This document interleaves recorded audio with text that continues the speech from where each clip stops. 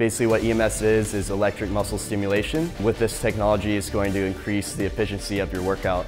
So we can get a three hour workout in only 20 minutes. Uh, I know that's hard to believe. Uh, through EMS, we are able to contract more muscle fibers. So you're not just working a single muscle like the bicep, we're working everything at once. Uh, it's very intense, that's why it's 20 minutes. So if you heard that EMS doesn't work, that's a myth.